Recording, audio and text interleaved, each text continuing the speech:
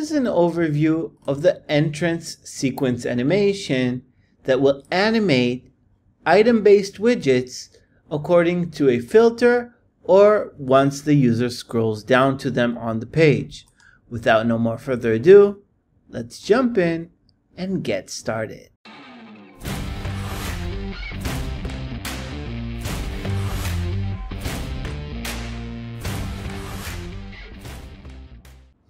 To get started with sequence entrance animations, we need to add one of the supported widgets to the page. There are numerous widgets that support sequence entrance animations, and I'm just going to show a couple of these, but you could do the same with all the ones that support this. So, first of all, I'm going to add a supported widget to the page.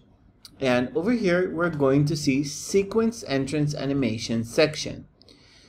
Open that section, and over here we have an option to choose what kind of sequence entrance animation we want to have on that widget. What a sequence entrance animation does, it makes the items animate gradually to the page in a sequence.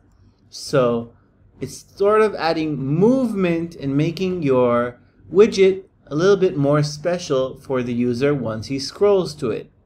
Now, we've seen it automatically right now, but this animation occurs only once the user scrolls to it. So let's edit this section a little bit, make it a little bit less wide so it will look a little bit better.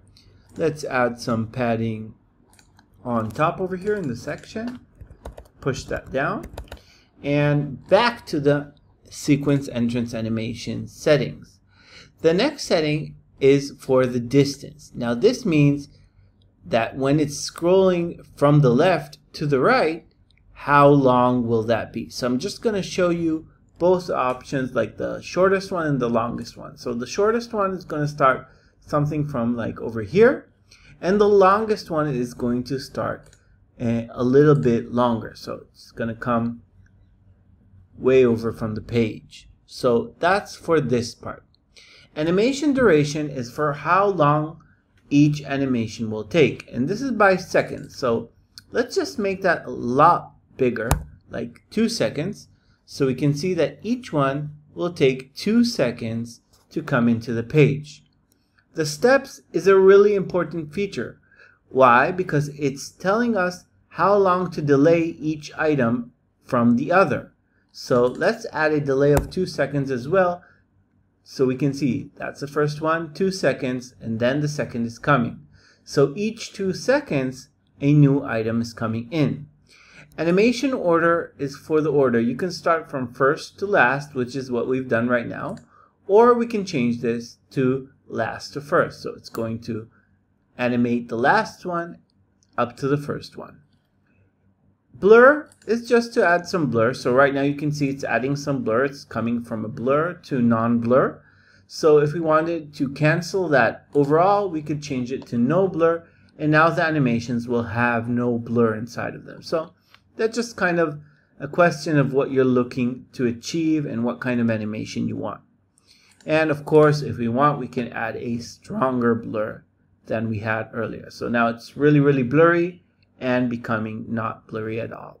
So these settings are available for many, many of our widgets. So let's just add another special widget that we have, which is a rhombus grid. I'm going to add that to the page. Sequence animation. This time, let's do it from the bottom. And ta-da! Now it's animating these from the bottom. So you can also edit all the settings over here and achieve the exact effect that you want.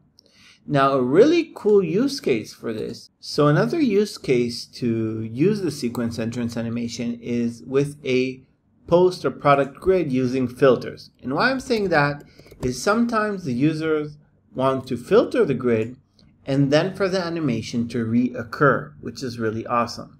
So over here, inside of my post grid, which is just one example of where we could use this, I'm going to select two terms that I want to filter between. And over here we need to select OR because we have two terms. And above that, I'm going to add my filter. So let's add a filter. And the quickest way to sync the categories over here to the ones over here is just to use the sync option over here. Now in the backend it won't show the exact uh, taxonomies, but once we preview the page, we'll see only the categories that are relevant inside of the grid. Now, let's jump back into the new feature that we're talking about, which is sequence entrance animation. And I'm just going to use from the bottom over here. And you can see that they're animating from the bottom. Now I'm going to save the page.